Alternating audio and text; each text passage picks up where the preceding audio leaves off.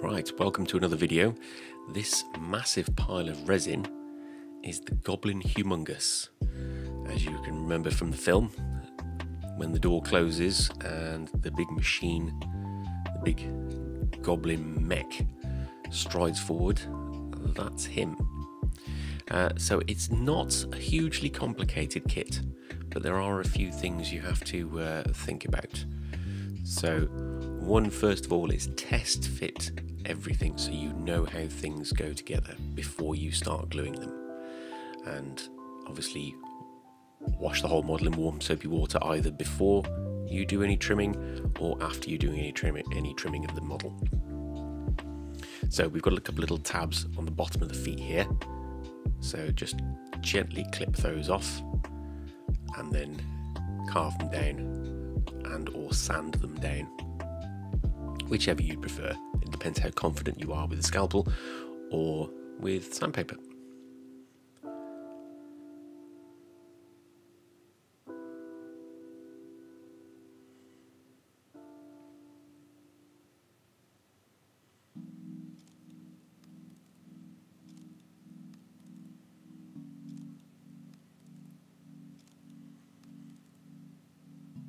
It is um, fairly obvious which way things go, so just try things out and just pop things where you think they should go, and they will fit if they're meant to do that. Um, and obviously, they won't if they're not meant to.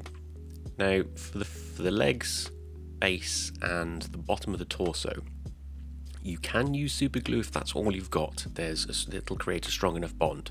Uh, but I decided to use some something called a two-part epoxy, uh, which is a very very strong glue, which will give me a, a really incredibly strong bond between these sort of core parts of the model.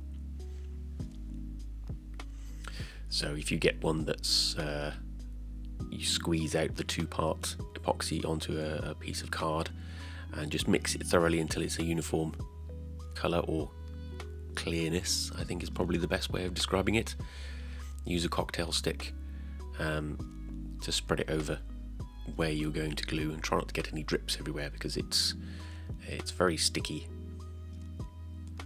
and can leave quite a mess if you get it in the wrong place.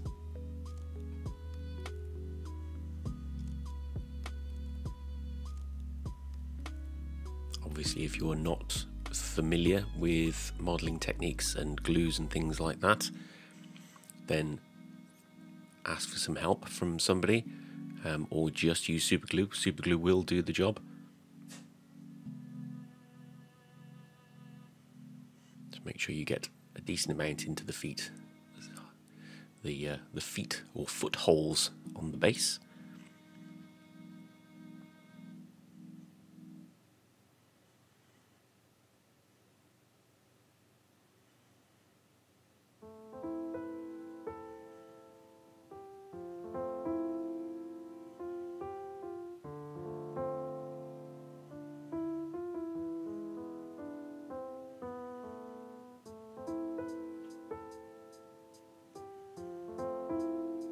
Now it takes about, uh, this is a five minute setting epoxy, um, which doesn't necessarily mean that it's completely set hard in five minutes.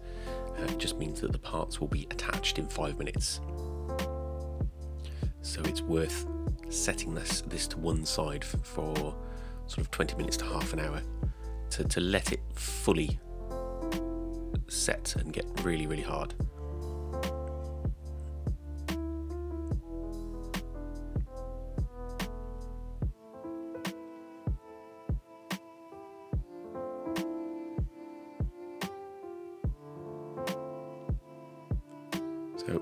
That's curing, let's take a look at the, main torso.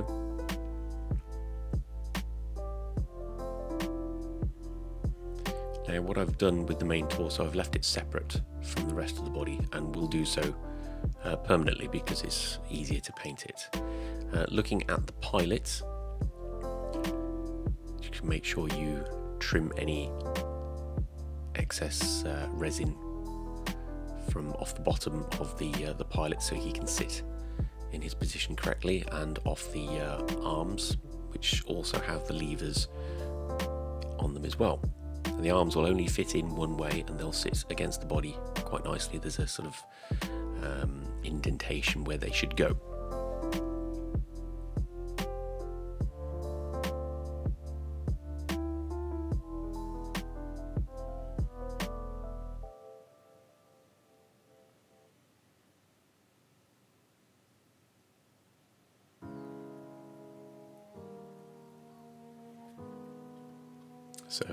Way I found of doing this was to glue the arms on first and then glue the pilot into the torso.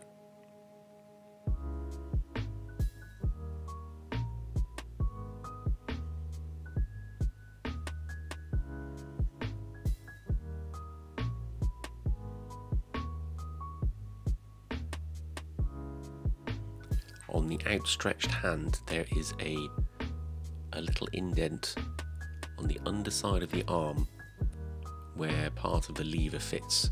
So if you look very, very closely, I'll point it out here in a second. There we go. Just got to make sure the lever sits against that.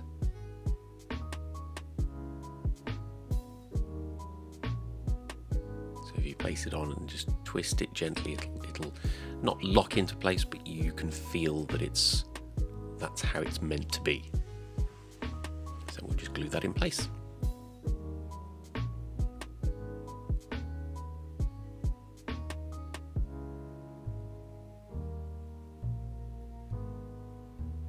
There we go. That's the pilot in. We can pop his head on now. There is a little resin gate underneath his head, uh, just on the underside, which you'll want to trim off as well.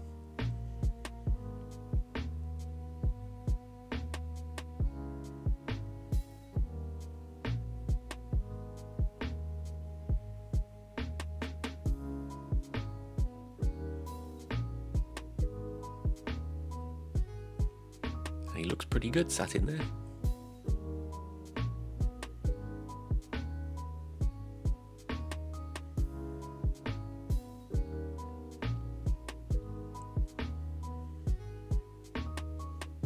Obviously, the, uh, the helmet or canopy for the humongous will fit over the top of him as well. Um, I would leave this, well, th this is entirely up to you. You can glue this down if you want to. Um, I would say probably don't want to do that because you want to be able to paint and see the pilot as well. So next up are the metal spikes on the base. So if you pause the video and have a look at each spike, they're all very similar and they'll each only fit in one place. But the order I've got them here is how they fit on onto the base.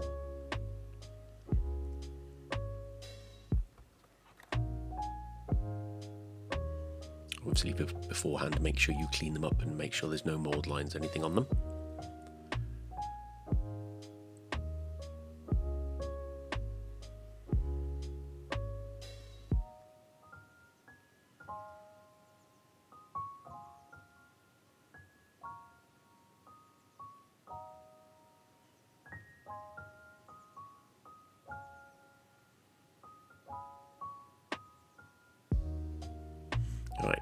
How it looks with the torso on.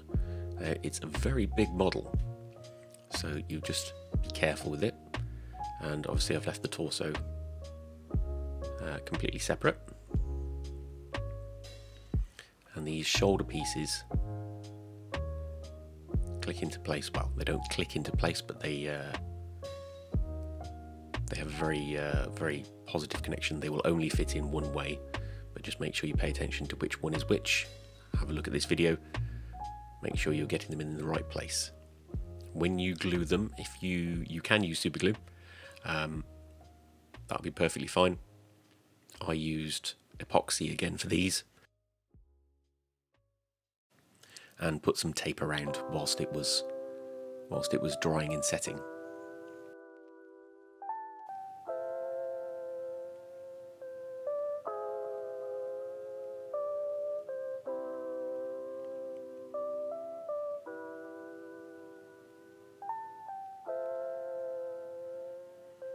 So now that that's all set, we can take take the tape off and start assembling the rest of the arms.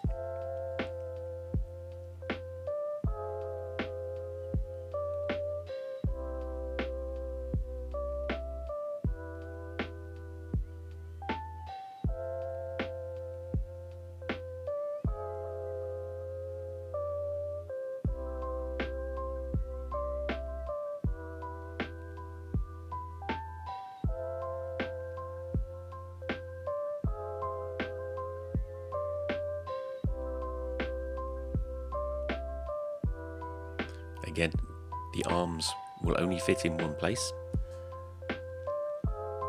So just make sure you pay attention to which one goes where. And the axe head will sit on the uh, the right hand side of the model, which will be our right and his left.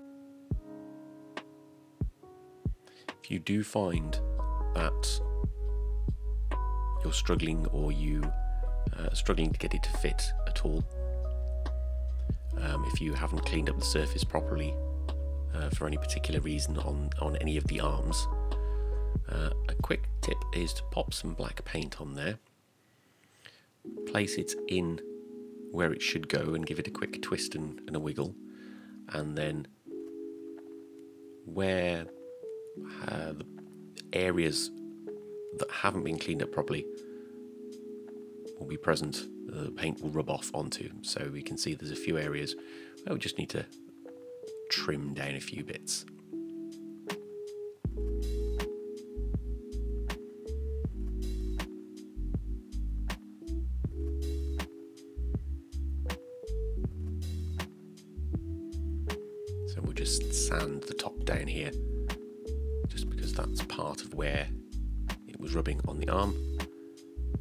We've got a much more positive connection between the, uh, the arm and the shoulder.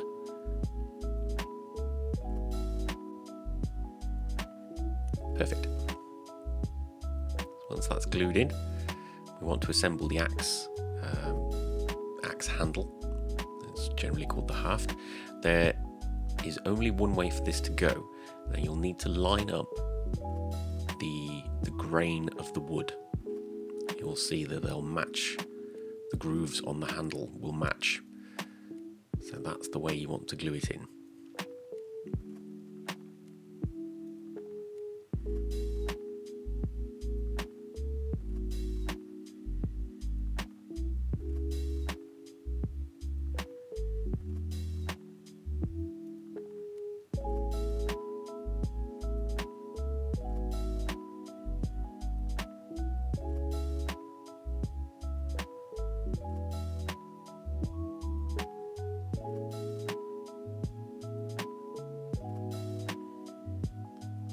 Now you can put those arms together.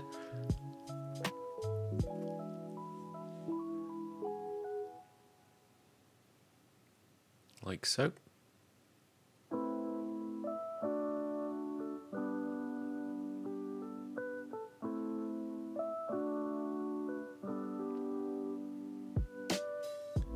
Again, I've just used super glue on these bits.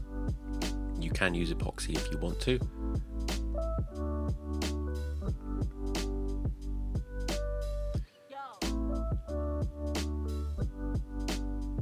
We go. So now you can fit the body onto the legs. Obviously, you can you can glue it at this point if you want to. Um, I would advise possibly not because it would be much easier to paint in two halves. Um, and we can put the axe head on now. Now the axe head only does fit one way. If you have a look inside the head of the axe, there are very slight grooves which will match up to the grooves on the axe handle itself. And just pay attention to how it feels when you put it on. If it doesn't feel like it's going to line up straight, turn it around and have another go. this is why we always test fit things. You've Got to make sure you know how it's going to go before you glue stuff down.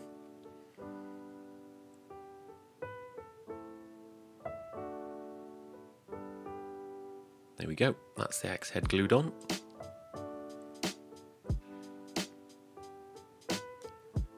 And him in all his glory.